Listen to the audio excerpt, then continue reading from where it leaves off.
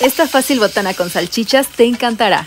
Agregamos un trocito de mantequilla y aceite de oliva en un sartén. Después de unos minutos vamos a agregar salchichas botaneras o cocteleras de preferencia, pero si no tienes puedes picar tus salchichas normales. Y las vamos a freír e ir moviendo constantemente, que en tanto tiempo lograditas que tú las quieras. Agregamos salsa Maggi al gusto, volvemos a mezclar y al final agregamos una buena porción de chipotle.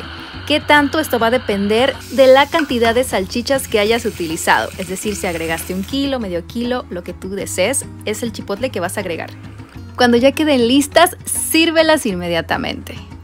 Huele esto increíble. Yo las estoy acompañando con galletas saladas, pero tú puedes acompañarlas con lo que tú quieras. Y si llegaste hasta el final, comenta delicioso para que sepa que viste todo el video. Gracias por ver.